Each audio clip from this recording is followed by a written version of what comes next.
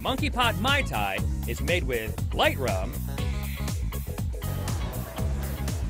fresh lime juice, That confirmed?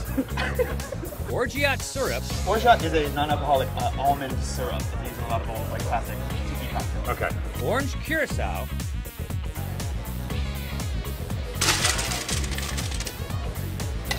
dark rum floated on top, That a boy. and then topped off with honey lilikoi foam. Are you ready for this?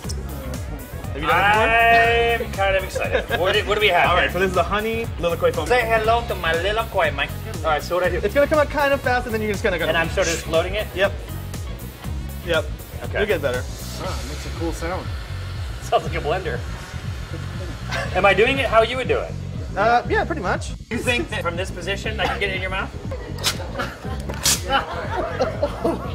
How's that taste? Oh my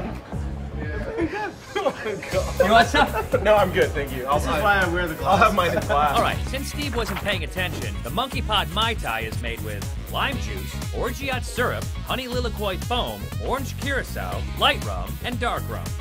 Okole Maluna. course, Which means. Bottoms up. Yeah, bottoms up. I like this whole Okole Maluna thing. It just makes my job easier. Oh, it's like that. Uh, yeah, it's like that.